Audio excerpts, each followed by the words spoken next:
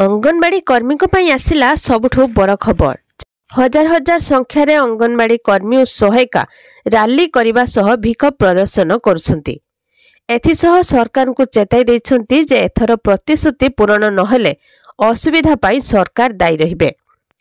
ହକ୍ ପାଇଁ ବିଧାନସଭା ଆଗରେ ଅଙ୍ଗନବାଡି କର୍ମୀଙ୍କର ଗର୍ଜନ। ପ୍ରତିଶ୍ରୁତି ପାଳନ କରୁନଥିବାରୁ ସରକାର ବିରୁଦ୍ଧରେ ପୁଣି ବାନ୍ଧିଛନ୍ତି ମେଳି। ହଜାର ହଜାର ସଂଖ୍ୟାରେ ଅଙ୍ଗନବାଡି କର୍ମୀ ଏବଂ ସହାୟିକା ଲୋୟର ପିଏମ୍ଜିରେ ଏକାଠି ହୋଇ ଶାଣିତ କରୁଛନ୍ତି ସ୍ୱର। ତେବେ ସରକାରଙ୍କ ଆଗରେ ଦାବି ଦୋହରାଇଛନ୍ତି ଅଙ୍ଗନବାଡି କର୍ମୀ। ତେବେ ତୁରନ୍ତ ସରକାରୀ ମାନ୍ୟତା ସହ ମଜୁରୀ ପ୍ରଦାନ ମାନ୍ୟତା ମିଳିବା ପର୍ଯ୍ୟନ୍ତ ଅଙ୍ଗନବାଡି କର୍ମୀଙ୍କୁ ମାସିକ ଅଠର ହଜାର ଏବଂ ସହାୟିକାଙ୍କୁ ନଅ ହଜାର ପାଇଁ ଦାବି ହେଉଛି। ତେବେ ସାଧାରଣ ନିର୍ବାଚନକୁ ଆଖି ଆଗରେ ରଖି ମୁଖ୍ୟମନ୍ତ୍ରୀ ନବୀନ ପଟ୍ଟନାୟକ ସମସ୍ତ ଦାବି ପୂରଣ କରିବେ ବୋଲି କୁହାଯାଉଛି। ତେବେ ଖୁବ୍ ଶୀଘ୍ର ଅଙ୍ଗନବାଡି ଦିଦିଙ୍କର ସମସ୍ତ ଦାବି ପୂରଣ ହେବ।